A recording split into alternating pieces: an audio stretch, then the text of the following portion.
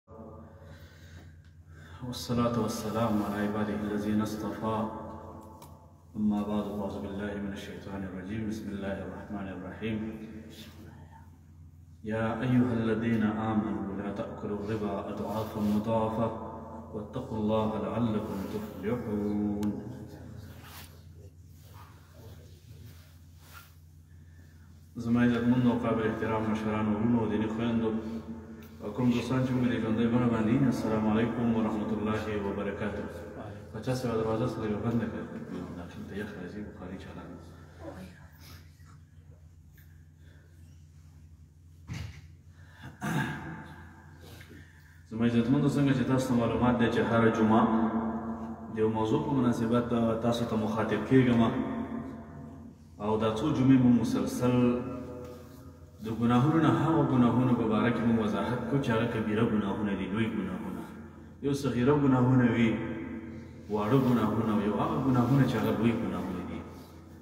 د هغې نه بعضې ګناهونه کبیره دي او بل د معاشرې اصلاح مونږ ولې په چیشي باندې راځي د معاشرې د اصلاح لپاره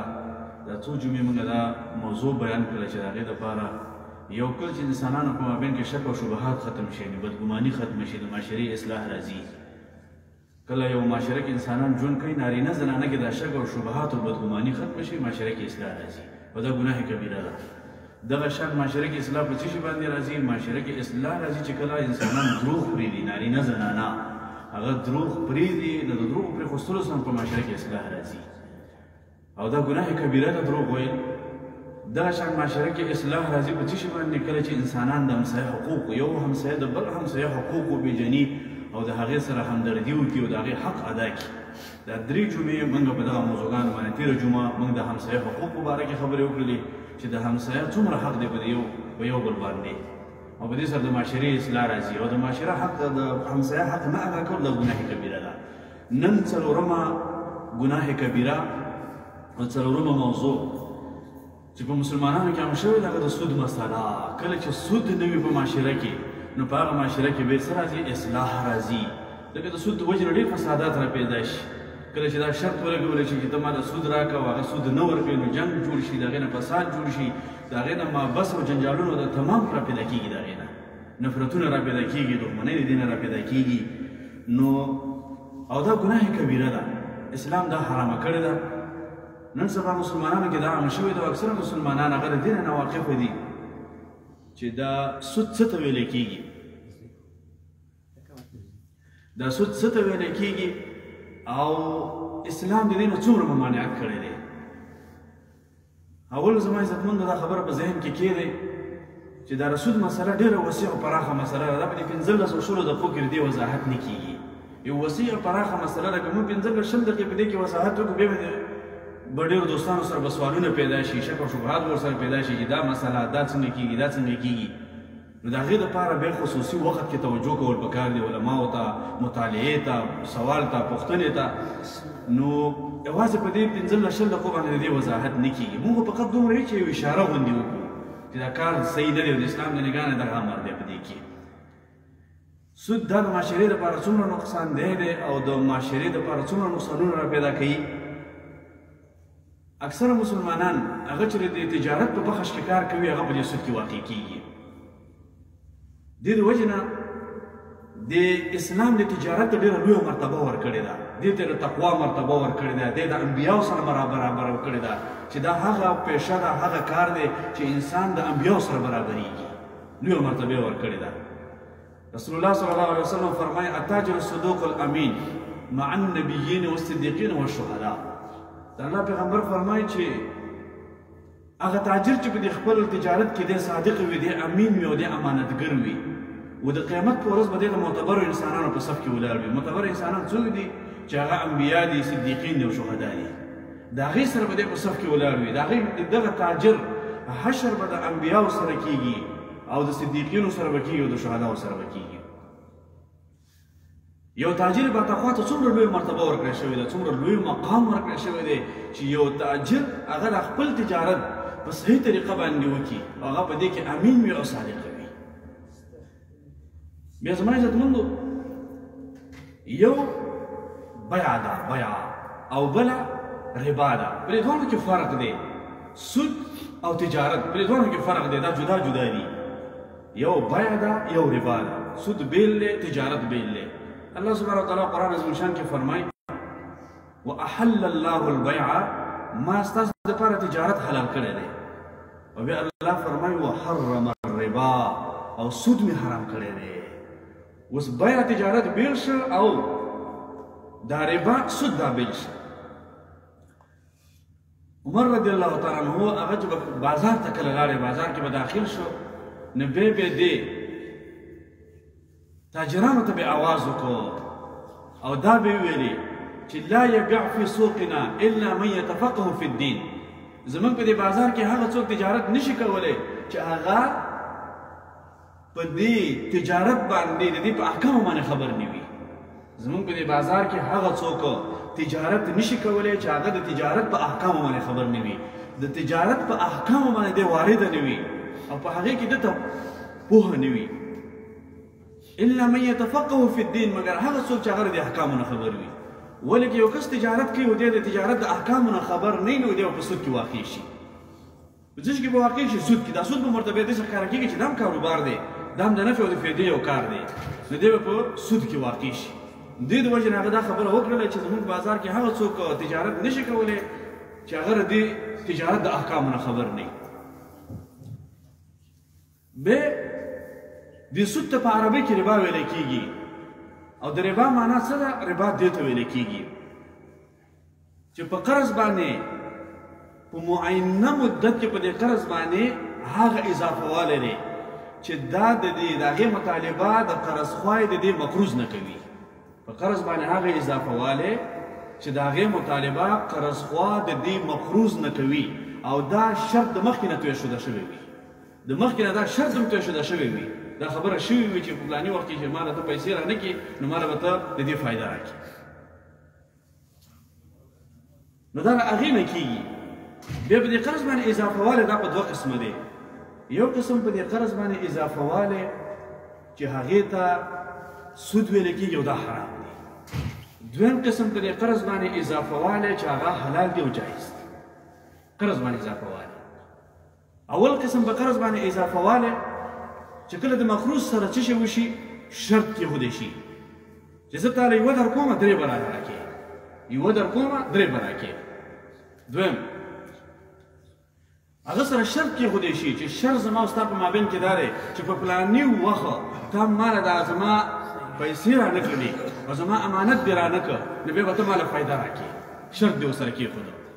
او یا دا چې د مقروض نه په زور او په زیاتې سره هغه قرض ورکړی دی قرض سره نشته دی اوس ور زور او زیاتې ور سره کیږي چې ته مال بل دې فائدہ راکې نو دا تمام صورت کوم صورتونه دي چې شرط یو سره کې خود او په ظلم زیاتی سره یو سره اخلي او یا وته وی چې یو در کومه درې براله راکې نو دا هغه صورتونه چې دا خو سود دی او حرام دی په دې کې خبره نه کیږي سود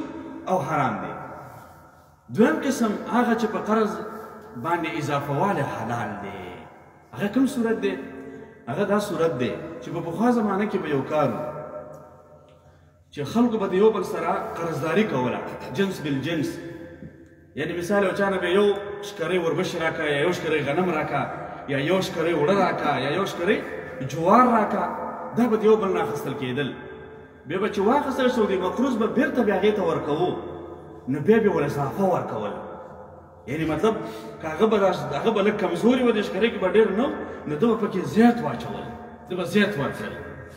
نو صافه به ورکول اوس وختونو کې زموږ اساس په وطن کې دا رواج دی همساینه دا راواخله بیا چې به بیرته ورکوو نو لږ بیا زیات ورکړل نو دا زیات ورکول دا به حلال دي هغه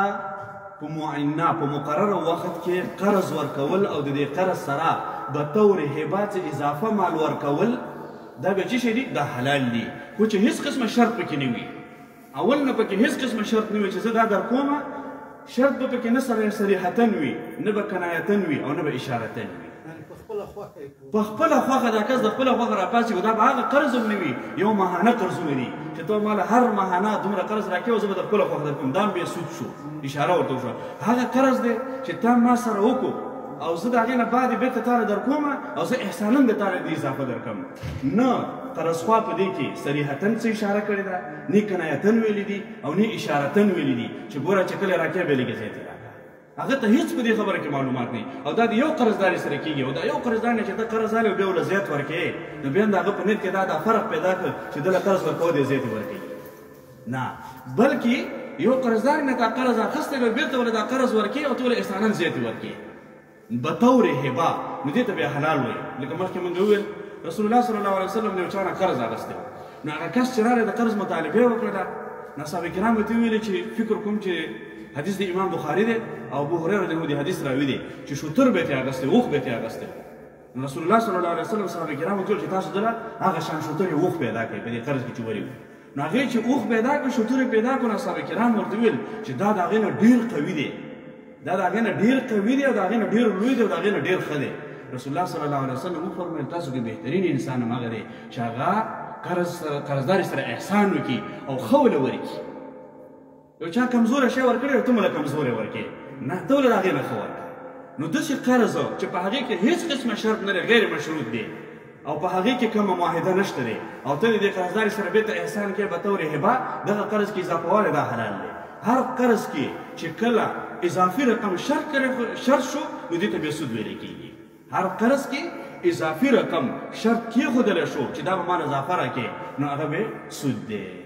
د اسلام د قانون مطابق د څه قرض اخستل ورکول دا ناجایز دی او دا حرام دی ځکه چې ضرورتمند سره ظلم کول دي مجبور سره ظلم او زیاته کول دي او په دې سره د دې مظلوم د دې ضرورتمند د دې حاجتمند د د سره چې کیږي د د استحصال له بدی کی دا د استحصال له دغه سره ظلم دی او اسلام د ظلم خلاف راغلی دی اسلام د چی ظلم د ظلم خلاف راغلی دی اسلام موږ تاسو چې ترغیب راکړي د قرض حسنات ترغیب راکړي حدیث کې دی فضیلت بیان شوی دی چې چاله د قرض ورکو کاغه به لاس تنګي وو تا او تصبر وکړو څومره اجر به الله درکې او به دې ور معاف کو او بخشش دې کو دا غیر څومره اجر او ثواب دی د قرض حسنه ترغیب اسلام ورکې اسلام ترغیب ورکې د څه شي ترغیب ورکې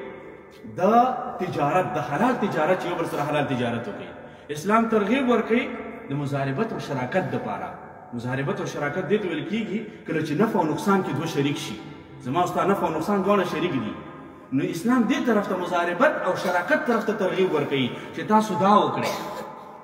سود طرف ته ترغیب نه ورکړي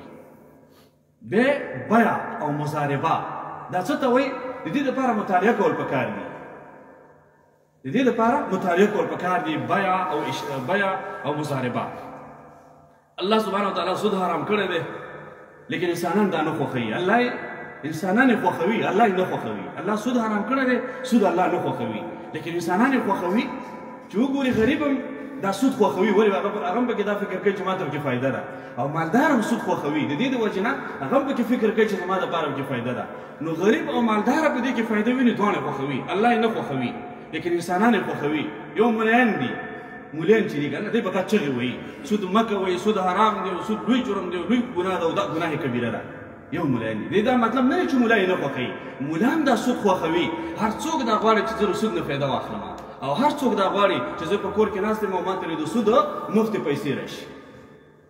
هر څوک دا غواړي لیکن مولان چې چغې وایي چې ګناه کبیره ده او لوی جرم دی او د الله په نسبت باندې دا ډېر غټ جرم دی او دا مه کوئ وجه څه ده چې الله او د الله رسول دا سود حرام کړی دی پیغمبر یې ولې دومره مخالف دی چې سخت سخت حکمونه په دې باندې صادر کړي دي چې سود مه کوئ مه کوئ پیغمبر یې ولې مخالف دی؟ ځکه چې الله سبحانه وتعالی په دې باندې پابندي لګولې ده او الله فرمایي چې زه دا کار نه خوښوم بس دا حرام دی ما حرام کړی دی ځکه پیغمبر هم سخت مخالفت کوي انسان خو فقط وقتی طور باندې چې ته ګوري لږه منافع ته ګوري لږه فائدې ته ګوري لیکن د ضرورتمن او د حاجتمن سره چې کوم ظلم کیږي کوم زیاتې کیږي دا ورته معلوم نه دی هغه مظلوم سره چې کوم ظلم او زیاتې کیږي هغه په قطر بل عالمین ته معلوم دی ځکه الله سبحانه وتعالى دا سود تر همیشه او د قیامت پورې حرام حلال حرام ګرځوي چې سود دا د همیشه لپاره حرام دی به اسلام زموږ اساسو لپاره نظام مزاربه نظام شراکت د دې قانون جوړ کړی دی دا قانون محمد مصطفی صلی الله علیه وسلم نه دی جوړ کړی دا قانون د مزاربې او د شراکت او د تجارت دا رب العالمین په خپل جوړ کړی دی فقط د الله پیغمبر د الله پیغام د الله د بندگانو ته رسول دی او د الله بندگانو ته دا فرمایلی دي چې سود حرام دی مزاربه او بیع او شراکت او تجارت دا حلال دی د الله پیغمبر دی بندگانو ته دا ویلي دي ځکه د الله پیغمبر دا قانون په دې نه دی جوړ کړی چې هغه په لیک لوست باندې نه پیدا او کوم انسان چې په لیک لوست باندې نه پوهیږي نو هغه د مزاربې او د شراکت دا قانون څنګه جوړولی شي دا نظام څنګه جوړولی شي الله پیغمبر دا قانون نه جوړ کړی دا قانون رب العالمین جوړ کړی دی لیکن د پیغمبر په جواب موږ تاسو ته دا ویلي دي چې دا سود حرام دی د مزاربې په نظام کې ضرورتمند ته پورا نیمه فائدہ حاصلېږي د سود په نظام کې ضرورتمند ته دا ویل کېږي چې نوي فیصد زما او لس فیصد ستا هر څومره مهنت چې کوې لس فیصد ستا ده او نوي فیصد زما ده او د مزاربې او د شراکت په نظام کې چې کله دواړه موافقه وکړي چې په نفع او نقصان کې دواړه شریک یو نو نیمه د ضرورتمند او نیمه ستا ده دا نظام اسلام جوړ کړی دی ولې الله سبحانه وتعالی موږ تاسو ته امر کوي چې صدقې ورکړئ او صدقو کې دومره فائدې دي او دا د الله سبحانه وتعالی زم راضي کیږم بدل کې جنت هم در کوم دنیا دې مخسته او آخرت دې مخسته لري ولې الله وایي زکات ورکا در چا لپاره رب العالمین خپل ځان لپاره غواړي نه د ضرورتمند لپاره الله پاک وایي زکات ورکا ضرورتمند ته ورکا صدقه ورکا ضرورتمند ته ورکا نن سبا مسلمانان په دې کې دا سود عام شوی دی لیکن مسلمانان را باندې نه پوهیږي په مختلفو نمونو سره په مختلفو قسمونو سره په مختلفو شکلونو سره دا سود عام شوی دی فقط د مسلمانانو تیرستلو لپاره بس یو نوم یې ول ورکړی دی د مسلمانانو د تیرستلو لپاره مسلمان فقط په دې باندې خبر دی چې ما خپل پیسې انویست کړې دي په بزنس کې ما خپلې پیسې انویسټ کړې دي په بزنس کې لیکن دا معلومات ورته نشته چې هغه حلال دی او که حرام دی او هلته چې ما کوم ځای کې انویسټ کړی چې حالات د دې څنګه دی د دې د وجې نه په مسلمانانو کې د دې مختلفو نومونو د وجې نه دا سود عام شوی دی زما عزتمنو دا یوه خبره په دې ذهن کې کښېنوئ چې د یو مولا په خوله باندې یا د یو مفتي په خوله باندې یا د یو قاری په خوله باندې او یا د یو قاضي په خوله باندې هیڅ کله حلال حرام کېدی نشي او حرام حلال کېدی نشي هیڅ کله د هغې په خوله باندې حلال حرام کېدی نشي او حرام حلال کېدی نشي زه فتوا ورکوم د جمعې مونځ نشته دی ځئ چې راځئ کورونو ته لاړ شو دا کیږي هیڅ کله نه کیږي هیڅ کله ولې حلال واضح دي حرام واضح دي په دې کې هیلې جوړول په دې کې بهانې جوړول په دې کې شک او شبهات کول دا د مسلمان لپاره جایز نه دي حلال واضح حرام واضح بعضې انسانان د دې رب العالمین سره داسې چل کوي لکه ماشوم سره چې څوک چل کوي د الله سره داسې چل کوي چې لکه د ماشوم سره چې انسان چل کوي الله سبحانه وتعالی علیم خبیر دی په هغه باندې خبردار دی قران او حدیث او اجماع په دې خبره باندې لري چې سود حرام دی سود الله سبحانه وتعالی حرام کړی دی قران کې الله سبحانه وتعالی فرمایي یا ایه الذین آمنوا اتقوا الله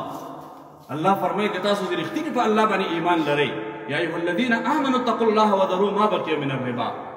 که تاسو رښتینی په الله باندې ایمان لرئ نو د الله نه ویریږئ په کومه کسانو چې تاسو سود پاتې دی نو دغه سود پرېږدئ سود ماخلئ او بیا الله فرمای په دې آیات کې فإن لم تفعلوا کدا کار دی ونه کولا سود پرې نه خود نو بیا خبر اوس الله فرمای چې فأذنوا بحرب من الله ورسوله دا الله دا الله رسول جنگ دی تاسو د الله د الله رسول جګړه را تاسو سره دې ته تیار وسه کوم انسان سره چې الله د جنگ اعلان وکړي دا انسان به څنګه کامیاب شي دا انسان هلاک دی په دنیا کې او په آخرت کې سود اخستل سود ورکول سود خوړل د الله سره جنگ کول دا انسان د الله په دښمنۍ کې ککړ دی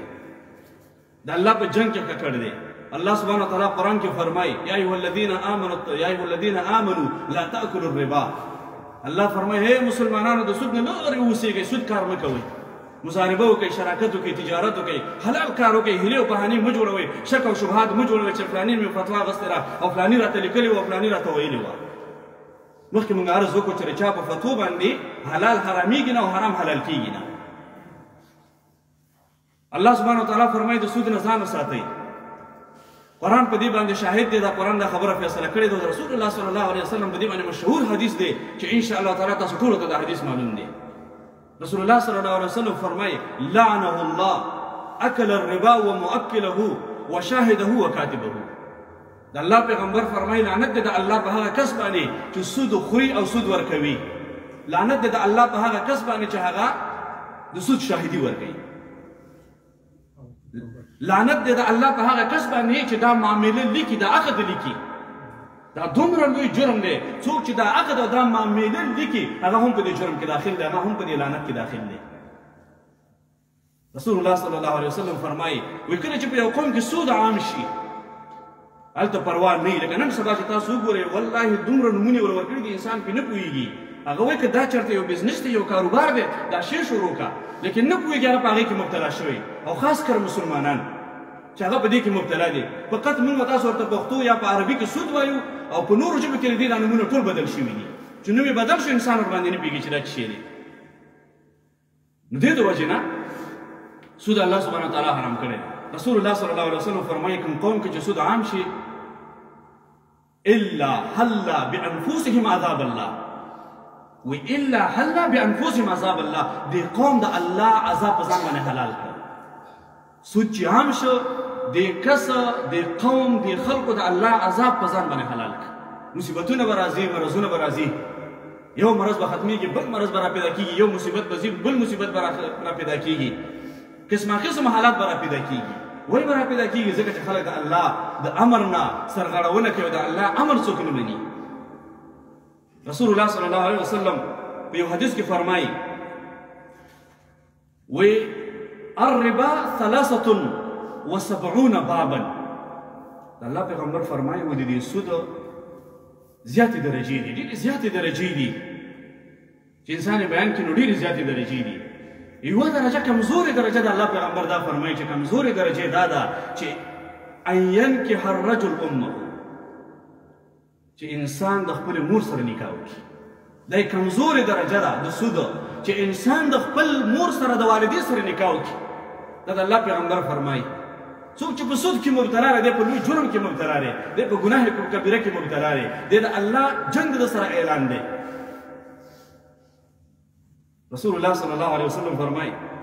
چې دغه انسان به الله سبحانه وتعالى څنګه کامیاب کی داغه دعاګانې به څنګه قبلېږي داغه عمرې داغه حجونه داغه قرباني داغه تمام نیک عمل به دا به څنګه قبول شي چې الله سره د جنگ اعلان کړی دی زما دې سړي سره د جنگ اعلان دی دا زما څوک چاته وایي چې نن نه پس ته زما زما استاد دښمني ده نن نه پس بیا خو به ځان ساتي به ځان به ډېر فکر کې چې څوک د دا خبرو کې زما استاد نن نه پس دښمني شروع شوله نو الله وایي دا زما دښمن دی دښمني مې ورسره شروع ده د ده نیک اعمال او د ده شان به څنګه الله سبحانه وتعالی قبول کړي رسول الله صلی الله علیه وسلم فرمایي وایي د دوو شیانو نه ځان وساتئ چې هغه نه بخښل کېږي یو خیانت کول کوم مال کې چې انسان خیانت وکړي او د قیامت پر ورځ به الله سبحانه وتعالی د هغه مال سره راولي او رسوا به کړي او یو سود دا نه بخل کیږي رسول الله صلی الله علیه وسلم فرمایي وي سود خور به د قبر نه په داسې حالات کې راپاڅیږي دی به د مجنونان او د لیونو په شکل باندې به راپاڅیږي او دا شکل او صورت دا به مسخ شوي وي او بیا د الله پیغمبر دا آیات ولوستو الذين ياكلون الربا هغه کسان چې سود اخلي لا يقومون الا كما يقوم الذي دی به د قبر نه نه پاڅي مګر په داسې حال کې به راپاڅېږي یتخبطه الشیطان من المس لکه جنات چې په چا باندې ناست وي پیران چې په چا باندې ناست وي نو د هغه حالات ډېر بدل وي وایي دغه شان به د قبر نه راپاڅېږي چې څخه دا مخ او دا شکل دا صورت یې مسخه شوي وي په داسې حالات کې به د قبر نه راپاڅېږي څوک چې په سود باندې خپل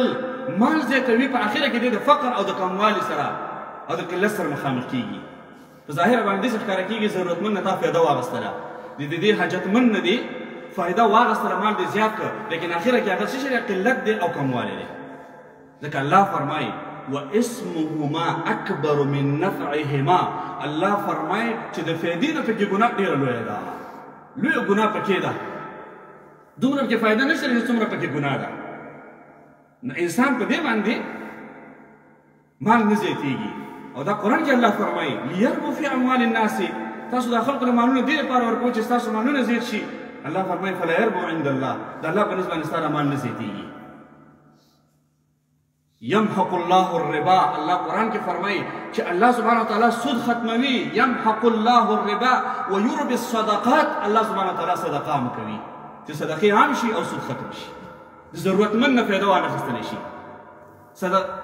صدقه هم کوي کوم انسانان چې صدقه ور کوي او هغه کې د صدقې صفت موجود دی هیڅ کله الله سبحانه وتعالی دا غمان نه کموي الله دا غمان زیاتوي دا الله وعده ده